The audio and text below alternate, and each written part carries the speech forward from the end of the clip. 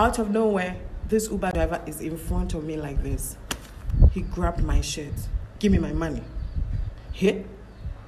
I was like, get your filthy hands off me.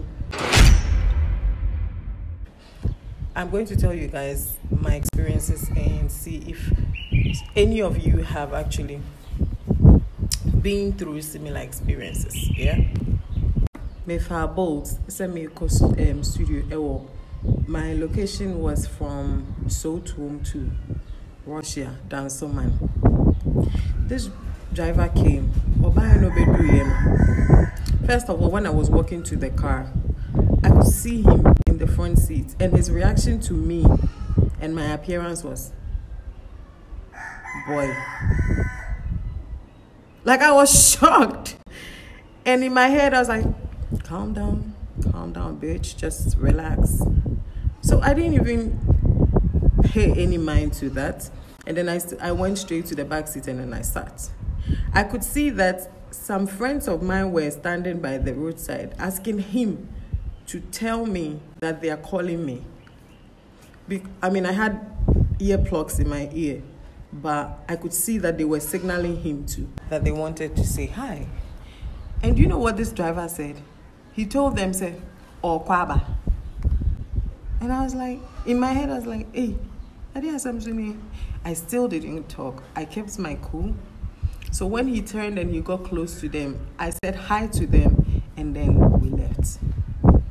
Okay, now we go to Awoshiban Yard. He's expected to go straight, just as the map has has shown. Say we are going to Kaneshie. He's supposed to go straight from Awoshiban Yard and then branch to Kwashima. And I was like, ah, I don't know one for straight. There's no traffic there. And I will park all the way Kwashieman and Sani Yako Kaneshie.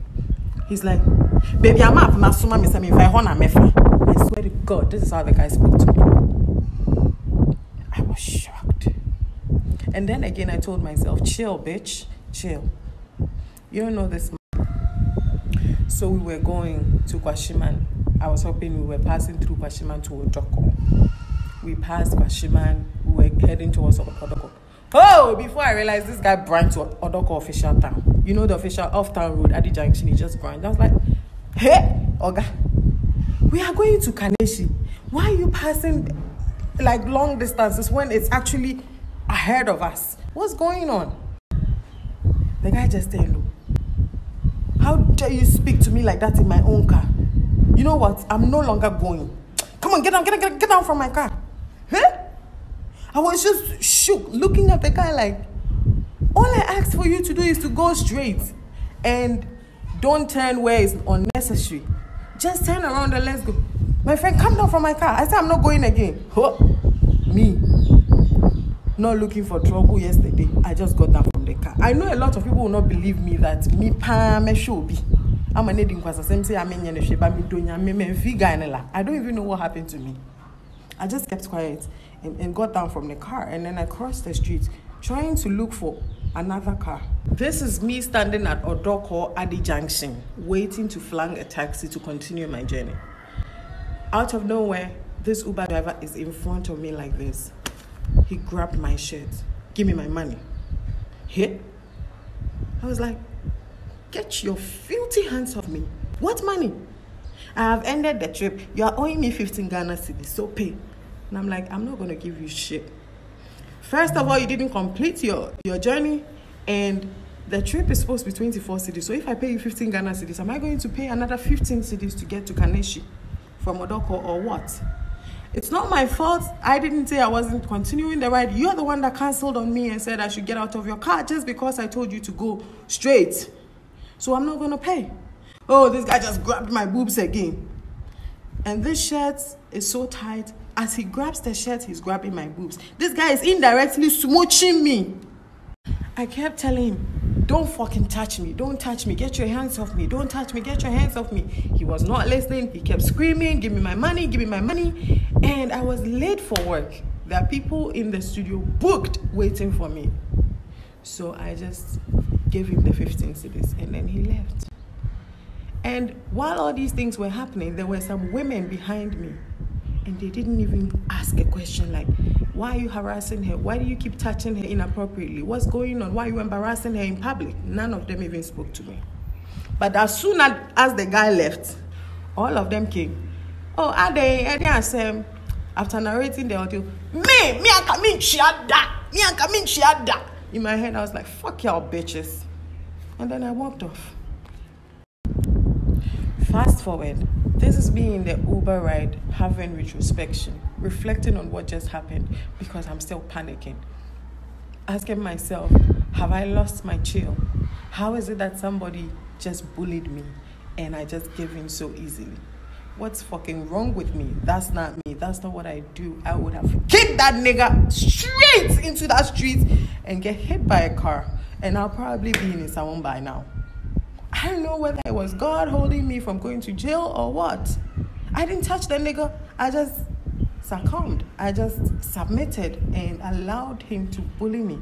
First of all, I need to check myself for doing that shit. I don't know why the fuck I did that. Secondly, I have respected Bolt.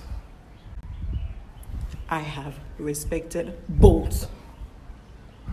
When I went through this, you know, ordeal again, I went I went straight to the uh, leave a comment section and then I wrote that this is what the driver did and he inappropriately touched me several places. Within a matter of five minutes, someone responded to me and asked that I give them details. Being the script writing bitch that I am, I gave them from scene one to scene 10. And then they called, they apologized, and bitch, you know what? That guy has been fired and cancelled from working with Bolt forever and ever. And they also assured me that if I if I want to file a you know a complaint about sexual harassment or public disgrace or danger to coronavirus, they're gonna help me. About like um, a few hours later, I realized that this nigga has texted me apologizing and this morning, he has sent another apology. For that disgrace you gave to me at Odoko station. Unless you take me back there, kneel down, apologize to me in the presence of all those women. Tell them the truth that I didn't do shit. You just harassed me and embarrassed me for nothing. Thank you both. Y'all be very careful. Ain't no man as sama me two ye ne kra kra kra ne say. Oman na yetimo ha say Ghana ha say if you don't know your way around things, if you are not smart, if you are not informed, if you are not very enlightened or exposed, then any person or anybody can deal with you and go scot free. Imagine if I couldn't type or if I didn't know that there was a leave a comment button where you can report drivers. This nigga would have gone scot free.